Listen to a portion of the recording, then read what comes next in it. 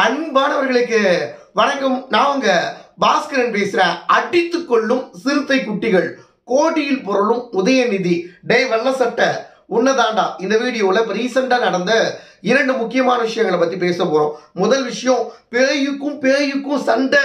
அது ஊரே வேடிக்கை பார்க்குது அப்படின்னு சொல்லிட்டு சொல்லக்கூடிய வகையில் பிக் பாஸ் வீட்டுக்குள்ள நம்முடைய சின்ன சிறுத்தை குட்டிக்கும் பெரிய சிறுத்தை குட்டிக்கும் இடையில எக்கச்சக்கமான பிரச்சனை போயிட்டு இருக்கு அதுலயும் ஆளூர் ஷானவாசினுடைய தங்கை மகனா இருக்கக்கூடிய அசிமுக்கும் விசிகாவில் முக்கியமான பொறுப்பில் இருக்கக்கூடிய விக்ரமனுக்கும் இடையில எக்கச்சக்கமான சண்டைகள் போயிட்டு இருக்கு டேய் வெள்ள சட்டை.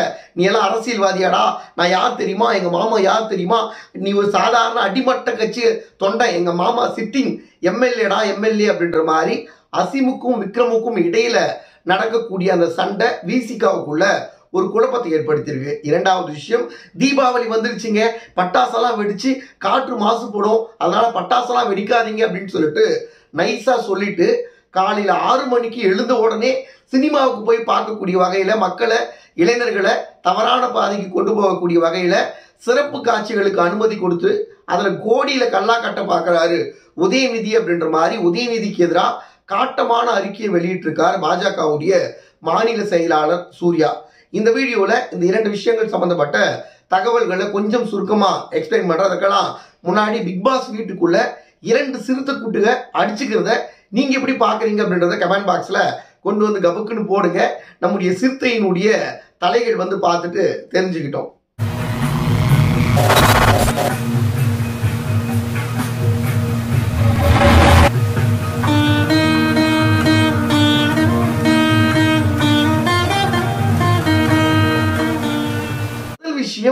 விசிகா விக்ரமன். ஏற்கனவே பிக் பாஸ் வீட்டுக்குள்ள நம்முடைய விசிகா விக்ரமன் எப்படியெல்லாம் நொந்து நூடுல்ஸ் ஆகிட்டு இருக்காரு அப்படின்றத நம்ம போன வீடியோலேயே பார்த்துருந்தோம். அதனுடைய தொடர்ச்சியா இப்போ பிக் பிக் பாஸ் வீட்டுக்குள்ள இரண்டு சிறுத்தைகள் அதாவது விடுதலை சிறுத்தைகள் கட்சியை சார்ந்த இரண்டு நபர்கள் அடிச்சு கொள்ளக்கூடிய விஷயம் இப்போ பெரிய அளவுக்கு விடுதலை சிறுத்தை கட்சிக்குள்ள ஒரு சலசலப்பை ஏற்படுத்தியிருக்கு.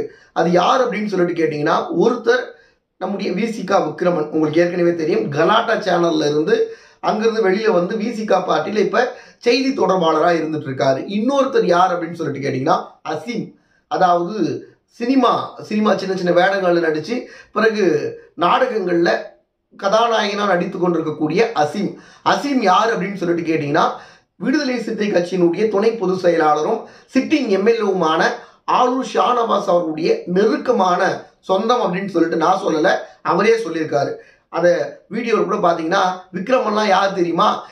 விக்ரமன் இருக்கக்கூடிய கட்சியில் சிட்டிங் எம்எல்ஏ எங்கள் அம்மாவுடைய சொந்த அண்ணன். அவர் அந்த கட்சியினுடைய துணை பொதுச் செயலாளராக இருக்காரு. இவெல்லாம் சும்மா ஜுஜிபி அப்படின்ற மாதிரி விசிகா விக்ரமனை கார்னர் பண்ணி அசீம் பேசியிருப்பாரு. உடனடியாக யாருங்க? அசீம் அசீமுடைய ரிலேஷனாக இருக்கக்கூடிய எம்எல்ஏ யாருன்னு சொல்லிட்டு போய் தேடி பார்க்கும்போது ஆளூர் ஷானவாஸ் தான் இவருடைய மாமா அப்படின்னு சொல்லிட்டு தெரிய வருது. அவரை வந்து மையப்படுத்தி தான் விசிகா விக்ரமனை போட்டு நம்முடைய அசீம் வந்து பார்த்தீங்கன்னா பயங்கரமாக வறுத்தெடுக்கிறதாகவும் எக்கச்சக்கமானவங்க கருத்துக்களை பதிவு பண்ணிட்டு இருக்காங்க. குறிப்பாக நேற்றைய டாஸ்க் பார்த்தீங்கன்னா பிக் பாஸ் வீட்டுக்குள்ள ஒரு பதிமூன்று போட்டியாளர்கள் யார் வந்து முதல் இடம் யார் இரண்டாம் இடம் அப்படின்னு சொல்லிட்டு நீங்களா உங்களை வரிசைப்படுத்திக்கிங்க. முதல் மூன்று இடம் பிடிக்கக்கூடிய நபர்களுக்கு தலைவர் பதவியில் போட்டியிடுவதற்கான வாய்ப்பு இருக்குன்னு சொல்கிறாங்க கடைசி இரண்டு இடம் பிடிக்கக்கூடியவர்கள் சிறைக்கு போகணும். அதில் ஆறாவது இடத்துல விசிகா விக்ரமன் போய் நிற்கிறாரு அவர்கிட்ட வந்து பார்த்தீங்கன்னா அசீம் வந்து சண்டை போடுறாரு. டே உனக்கெல்லாம் ஆறாவது இடம் நிற்கிறதுக்கு தகுதி இருக்கா? வெள்ளை சட்டை போட்டுட்டா நீ எல்லாம் அரசியல்வாதியா? அரசியல்வாதிலாம் சொல்லிட்டு தெரியாதுடா எனக்கு. சிரிப்பாக வருது. டேய் போடா அந்த பக்கம் அப்படின்ற மாதிரிலாம் கோபமாக ஆக்ரோஷமாக விசிகா விக்ரமனை பார்த்து அசீம் அவர்கள் சண்டை போடுறாரு. அந்த சண்டை பெரிய அளவுக்கு வைரலாச்சு. ஒரு ப்ரோமோவே அந்த சண்டையை மையப்படுத்தி வெளியிடப்பட்டது. உடனடியாக அந்த ப்ரோமோ பார்த்தவங்கலாம் என்னடா இது? விசிக்கால் இருக்கக்கூடிய ரெண்டு நபர்கள் அந்த கட்சி சார்ந்த இரண்டு நபர்கள் இப்படி அடிச்சுக்கிறாங்களே. இவங்க சொந்த கட்சியிலே இவ்வளோ பிரச்சனை இருக்கும் போலயே அப்படின்ற மாதிரி கட்சி சார்பாக எக்கச்சக்கமானவங்க கமெண்ட் போட ஆரம்பித்தாங்க ஏன்னா அவர் தான் சொல்கிறாரு எங்கள் மாமா தான் சிட்டிங் எம்எல்ஏ எங்கள் நாங்கள் நினச்சா என்ன வேணாலும் பண்ண முடியும் அப்படின்னு சொல்லிட்டு அவர் சொல்கிறாரு அவரும் அந்த கட்சியை சார்ந்தவர் அதே போல் விசிகா விக்ரமும் அதே கட்சியை சார்ந்தவர். அந்த ஒரு கட்சியை சார்ந்த இரண்டு நபர்கள் கூட ஒரு வீட்டுக்குள்ளே ஒன்றா இருக்க முடியல இவங்கெல்லாம் எங்கே கட்சி நடத்தி எங்க இவங்கெல்லாம் என்னத்தை பண்ண போறாங்க அப்படின்ற மாதிரி விசிகாவை வந்து வருத்திருக்கக்கூடிய வேலையில் இறங்கிட்டாங்க நெட்டிசன்கள். அதுலேயும் ஒரு சில நபர்கள் விக்ரமனுக்கு ஆதரவாக வந்து பார்த்தீங்கன்னா கருத்துக்களை பதிவு பண்ணிட்டு இருக்காங்க. இன்னொரு சில நபர்கள் வந்து பார்த்தீங்கன்னா விக்ரமனுக்கு எதிரான கருத்துக்களும் பதிவு பண்ணிட்டு இருக்காங்க. பட் அந்த நிகழ்ச்சியை பார்க்கும்போது என்னடா இது? சிறுத்தை குட்டிங்க இப்படி அடிச்சுக்கிறாங்களே? இந்த அளவுக்கு அடிச்சுக்கிறாங்களே? ஒரு வீட்டுக்குள்ள ஒரு பத்து நாள் கூட ஒழுங்காக இருக்க மாட்டேன்றாங்களே? அப்படின்ற மாதிரி தான் நமக்குள்ள இருக்கு. பட் விக்ரமன் அவர்களை அசீம் அவர்கள் ரொம்ப தரக்குறைவாகவும் பேசியிருக்காரு. பட் அதை தவிர்த்திருக்கலாம். ஒரு வீட்டுக்குள்ளே போயிட்டு ஒரு கட்சி ஒரு கட்சி சார்ந்த நபர்கள் அவங்க மாமா சிட்டிங் எம்எல்ஏவாக இருக்காரு இவர் செய்தி தொடர்பாளராக இருக்காரு அப்போ இரண்டு நபர்களும் இணக்கமாக போகிறத விட்டுட்டு நீ பெரிய ஆளா நான் பெரிய ஆளா? அப்படின்னு சொல்லிட்டு பயங்கரமாக அடிச்சுக்கிறத பார்க்கும்போது என்ன சொல்கிறது இவங்களுடைய அந்த வழி அப்படிதான் இருக்கு போல அப்படின்றத வெட்ட வெளிச்சமாக காட்டுது. என்ன பண்ணுறது நம்முடைய விசிகாவுடைய பார்முலா பிக் பாஸ் வீட்டுக்குள்ளே கூட எடுபடலை அப்படின்றதுதான் இவங்களுடைய சண்டை வெளி உலகத்துக்கு உணர்த்துகிறது. இரண்டாவது விஷயம் நம்முடைய உதயநிதி அவர்கள். ஏற்கனவே உங்களுக்கு தெரியும் உதயநிதி அவர்கள் சினிமா துறையை தன் தன்னுடைய கட்டுப்பாட்டுக்குள்ளே கொண்டு வந்துட்டார் அப்படின்ற மிகப்பெரிய ஒரு குற்றச்சாட்டு அப்போ இருந்து இப்போ வரைக்கும் இருக்குது பட் சினிமா துறையில் இருக்கக்கூடிய முக்கியமான நபர்கள் அதெல்லாம் இல்லைங்க. உதயநிதி கிட்ட பணத்தை கொடுத்தோன்னா பணத்தை கரெக்டாக கொடுக்குறாருங்க. அவருடைய அந்த ரெட் ஜெயின் மூவிஸ் கரெக்டாக வந்து எல்லாத்தையும் பண்ணுறாங்க அப்படின்ற மாதிரிலாம் அவருக்கு ஆதரவாக பேசிட்டு இருந்தாங்க. பின்ன பேச தானே செய்யணும். அவங்க தானே ஆளுங்கட்சி. அவங்களுக்கு எதிராக பேசினா அம்மன் ஜல்லி கிடைக்காதுல்ல. அதனால அப்படி பேசுவாங்க. இப்போ ரீசெண்டாக வந்து பார்த்தீங்கன்னா தீபாவளி. தீபாவளிக்கு ஒரு சில விதிமுறைகளை விதிச்சிருக்காங்க நம்முடைய விடியல் அரசு. அதில் மிக முக்கியமாக பட்டாசு. பட்டாசு வெடிக்கிறது வந்து பார்த்தீங்கன்னா குறிப்பிட்ட நேரத்துக்கு தான் நீங்கள் பட்டாசு வெடிக்கணும் அப்படின்ற மாதிரி சொல்லி ஒரு உத்தரவு பிறப்பிச்சிருக்காங்க. ஏன்னா காற்று மாசுபடுது அப்படின்னு சொல்லிட்டு சொல்லியிருக்காங்க. பட்டாசு மட்டும்தான் வெடிச்சா காற்று மாசுபடும் ஆனால் கா காலையிலேருந்து இரவு நைட் வரைக்கும் ஒயின் ஷாப்பை திறந்து வச்சு குடிங்கடான்னு சொல்லுவாங்க. மக்கள் எப்படி செத்தாலும் பரவாயில்ல. அது வேற ஒரு சப்ஜெக்ட் பட் அது சம்பந்தமாக பாஜகவினுடைய மாநில செயலாளர் சூர்யா அவர்கள் ஒரு பதிவு போட்டிருக்காரு. அதாவது அதில் என்ன எழுதியிருக்காரு அப்படின்னு சொல்லிட்டு கேட்டிங்கன்னா தீபாவளியினுடைய அந்த சிறப்பு காட்சி பண்டிகையை வந்து பயன்படுத்தி கோடிகளில் சம்பாதிக்க பார்க்குறாரு உதயநிதி அப்படின்ற மாதிரி ஒரு புகைப்படத்தோட போட்டிருக்காரு. அதில் தீபாவளியை முன்னிட்டு நாளை அதாவது இருபத்தி ஏழாம் தேதி வரை நாளை முதல் இருபத்தி ஏழாம் தேதி வரைக்கும் திரையரங்குகளில் சிறப்பு காட்சிகளுக்கு அனுமதி அளிச்சிருக்காங்க நம்முடைய விடியல் அரசு.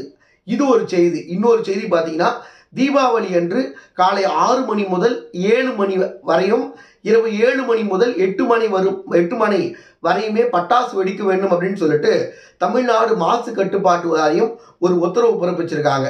இன்னொரு பக்கம் பார்த்தீங்கன்னா திரையரங்கம் ஒரு வாரத்துக்கு சிறப்பு கா அனுமதி காட்சி. அதாவது எத்தனை மணிக்கு அப்படின்னு சொல்லிட்டு பார்த்தீங்கன்னா காலையில் ஆறு மணிக்கே காலையில் ஆறு மணிலேருந்தே வந்து பார்த்தீங்கன்னா சிறப்பு காட்சியை ஓட்டுவதற்கு அனுமதி கொடுத்துருக்காங்க. இன்னொரு பக்கம் பட்டாசு வெடிக்கக்கூடாதுன்னு இருக்காங்க.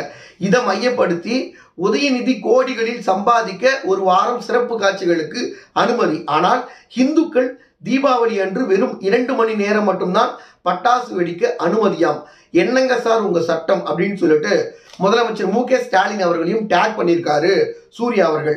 அதுலேயும் கோடிகளில் புரள்வதற்காக உதயநிதிக்கு வந்து உதயநிதி வந்து கோடியில் சம்பாதிக்கணுன்றதுக்காக காலையில் தூங்கி எழுந்த உடனே எங்களுடைய இளைஞர்கள் சினிமாவை பார்க்கறதுக்கு போயிடணும் ஆனால் எங்களுடைய பண்டிகையில் நாங்கள் பட்டாசு வெடிக்கக்கூடாது. என்ன உங்களுடைய நியாயம் அப்படின்ற மாதிரி அவருடைய ஆணித்தனமான கேள்வியும் முன் வச்சிருக்காரு. என்னை பொறுத்த வரைக்கும் அதாவது பட்டாசு வெடிக்கிறது அப்படின்றது அவங்களுடைய அந்த நீண்ட நெடுங்கால கலாச்சாரமாக இருக்குது பட் காற்று மாசுபடுதுன்றதுக்காக சில ஒரு சில விதிமுறைகளை விதிச்சிருக்காங்க தமிழக அரசும் மாசு கட்டுப்பாட்டு வாரியம். சரிங்க அது உங்கள் விருப்பம். பட் சினிமா தேட்டரை ஏன் காலையில் திறந்து விடுறீங்க? ஆறு மணிக்கெல்லாம்? எங்களுடைய இளைஞர்கள் காலையில் எழுந்த உடனே பட் பண்டிகை வீட்டில் கொண்டாடாமல் வீட்டில் வந்து அவங்க குளித்து அவங்களுடைய கலாச்சாரத்தின் படி அவங்களுடைய பண்பாட்டின் படி வீடுகளில் வந்து பார்த்திங்கன்னா அவங்க சொந்த மதத்தோட பண்டிகையை கொண்டாடக்கூடாது.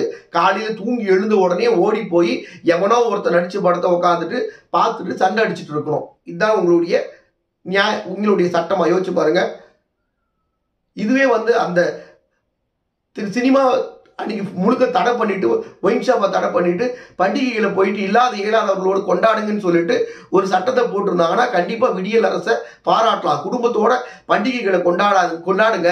வெளியில எங்கேயும் போகாதீங்க. படமும் பார்க்காதீங்க. ஒன்றுத்தும் பார்க்காதீங்க. வரதே லீவ்ல ரெண்டு நாள் மூணு நாள் தான்.